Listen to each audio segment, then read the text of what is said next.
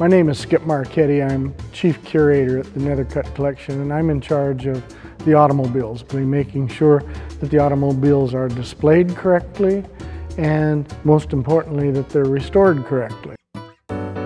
The uh, theme of this museum is functional fine art. Everything works, everything is uh, restored to as new condition or is maintained in original condition.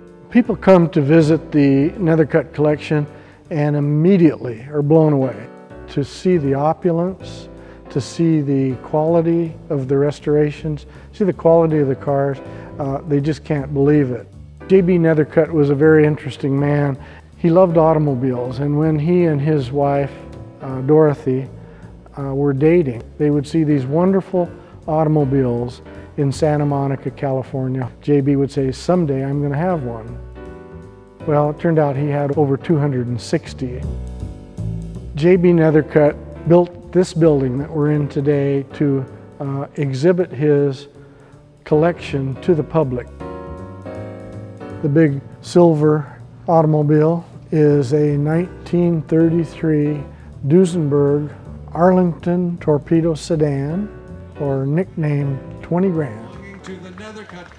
Uh, the black car is a 1930 DuPont.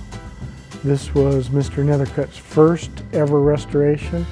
Restored it himself, entered it in the Pebble Beach Concours d'Elegance in 1958 and he and Mrs. drove it from Los Angeles to Monterey and won Best of Show.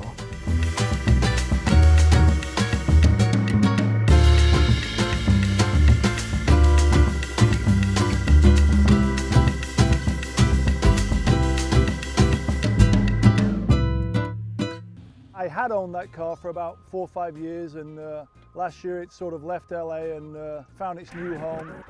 And I was kind of getting to know that cars are kind of cool.